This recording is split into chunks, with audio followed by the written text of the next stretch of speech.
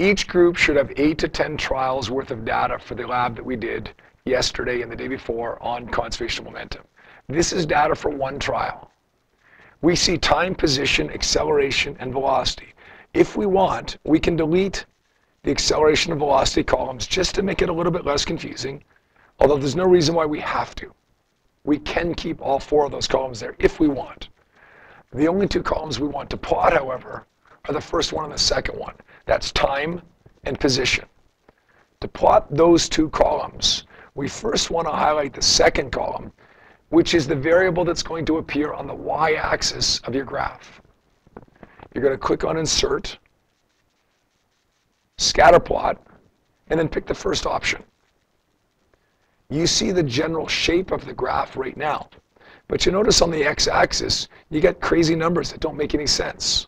So what we want to do at this point is get the variable that we want on the x-axis so that the numbers do make sense.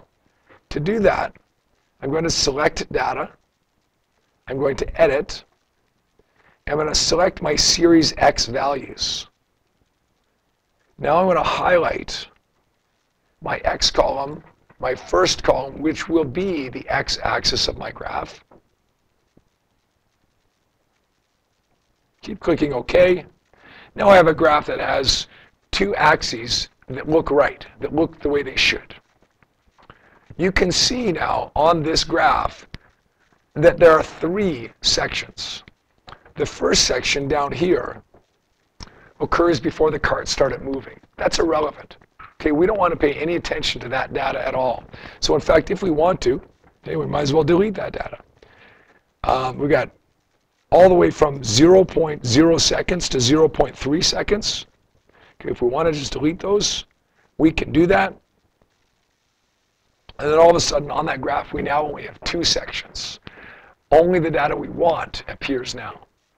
However, we need to analyze these two sections separately.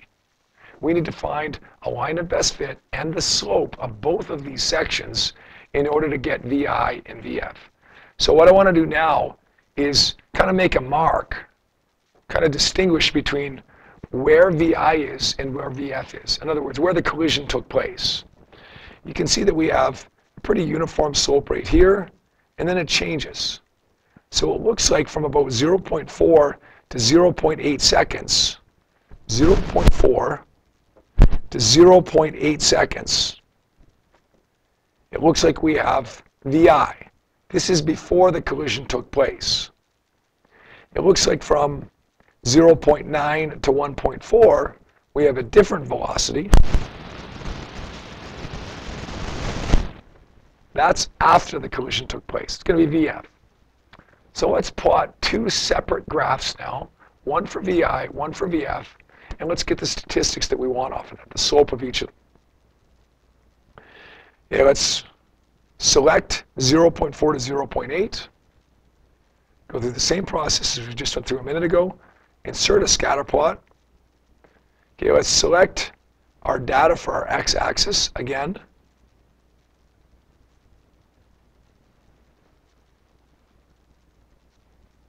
And there's my graph. If I click on those dots, right-click, add a trend line, including this little box that says display equation on chart, we will get an equation that describes this graph. The equation is always in the form of y equals mx plus b, m being the slope. So the slope of that graph, the slope of the first interval that we have there, is 2.02. In other words, VI for this trial is 2.02. Now we want to get VF for this trial.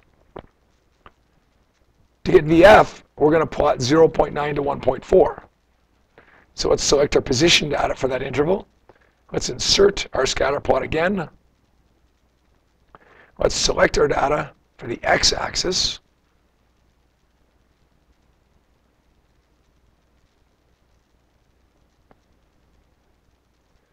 Keep clicking OK until we have our graph that matches up with the data that we see on our table. Let's once again select that data, right-click, add a trend line, display the equation on the chart, and click Close. You can see the slope of this graph is 0.95. So the initial velocity was 2.02. The final velocity is 0.95. Do this 10 times, or however many trials you have. If you have eight trials, then do it eight times. When you do that, you should get something that looks like this. A bunch of VIs and a bunch of VFs. Now, I've made up this data for VI and VF. I've made it up so it's not going to be realistic. You're not going to get nice convenient numbers like 1, 2, 3, 4. But the way that we plot the graph is exactly the same regardless of what the numbers are. Let's go through this, this process now of plotting the graph that we're actually going to hand in. Okay, the other graphs, remember, were just to get your data. They're just to get VI and VF. This is the graph that you're going to hand in. Let's select my y-axis. Let's insert a scatter plot. Okay, it looks like my x-axis is correct here, but I'm going to select the x-axis data anyways, just in case.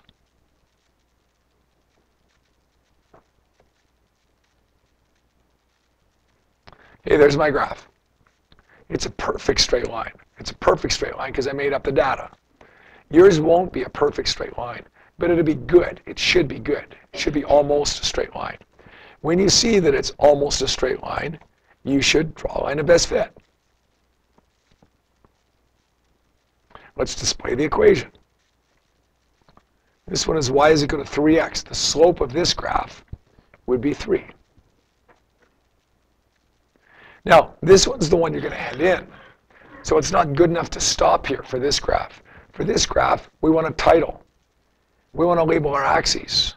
So what I want you to do at this point now is click on Chart Layouts. Pick the first one, Layout 1.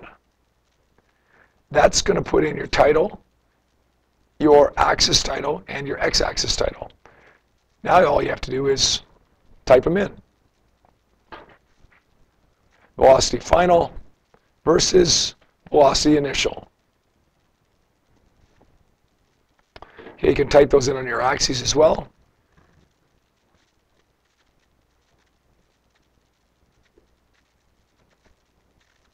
Don't forget your units, meters per second. Do the same thing on the x-axis, except it's velocity initial.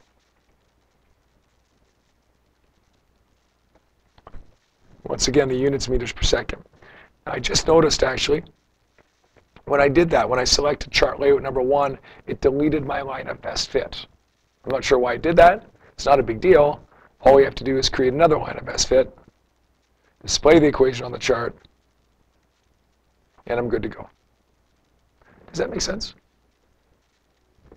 Now, you want to copy this graph into Microsoft Word so you don't have to print it and then you know literally copy it with or uh, cut it with scissors and paste it and so on. The easiest way to do it is simply click the graph, top left-hand corner, right-click, copy, go into Word,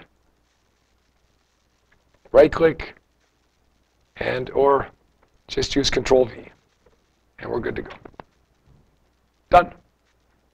Now, you've got to do it more times than me. Okay, you've got to do the first thing that I did 10 times. This one, you only have to do once, just the same as me. Got it?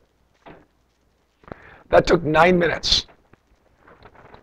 If you're doing this and you're not stopping to explain it as I was, then it's going to take you significantly less than nine minutes to do this. You're going to have to repeat. Seems to take about a minute and a half per graph if you're doing it kind of real speed. So if you've got 10 graphs to plot, you're looking at about 15 minutes. Okay? I don't think that's the end of the world. You've got a little bit more analysis to do as well. So this isn't going to be a 15-minute write-up but it's also not going to be a two-hour write-up either. Okay, plot these graphs efficiently. That's the biggest part of the work. And then you should be able to be finished within a half an hour or so. All right? That's it.